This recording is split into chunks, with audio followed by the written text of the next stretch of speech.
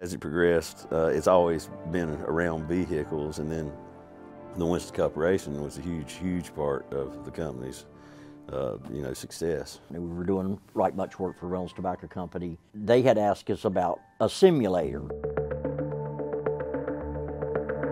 The simulator was the big break for us because it was so needed and it was so not wanted by the RJR people. What happened was I went down to uh, Florida for um, a, a trade show and saw this simulator. Took a ride in it and uh, immediately thought about, wow, we could actually give race fans a ride in a race car and uh, it's one of the first motion-based simulators. I mean, this is like the coolest thing in the world. It's like a, a roller coaster and a video game all in one, and this is back when, you know, we had Pong. But he, he, he loved it, you know, and, and so he pitched it. He said, oh, you know, this is the next hot thing. You got to, you got to do it, you got to do it, you got to do it. And they, they ran and talked about it, and they were like, hey, we're just not interested. You know, we're just not interested. I, I went home one day and told Dare, I said, look, I'm never going to get this thing sold if we don't have one that we can actually take them for a ride. They've got to be able to feel the same thing I felt. He felt so strongly about it, and this is kind of how Dad is, shows his character. He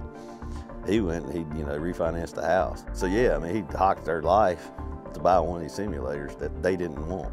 And it was, it was just based on his belief that it was going to work and uh, or that we could make it work, you know. So we invited the guys from Reynolds out to ride the simulator. The fans would come on and blow wind in your face and you know make you feel like you were going fast. And one of the guys that um, was in sports marketing at the time, well, he was influential and he was not a fan. He he didn't believe in this thing at all. So we were trying to enhance the ride a little bit the day that they all showed up. So they all get in there, all these executives, and you can hear the tires squall at this one point. And then when the car's like spinning out, I had a soldering iron. I'd take a, a piece of rubber, you know, and burn the solder, you know, pull the smell of the rub, burning rubber into the simulator. and, and Jeff, the guy that I was most concerned about, when I opened the door, he said, "Man, that is amazing! I could smell the rubber. You know, it was like, I know." and and you know, they bought it. They they said, "Yeah, we'll take it." And it was so perfect because everybody in the that was involved in racing at the time had show cars. Reynolds used their show cars to uh, promote, you know, more sales at especially convenience stores. So this thing was perfect for being able to take it to a, I mean, if you, you know, we're going to give you guys a ride. We're not just going to show you a car. So it replaced the show car program.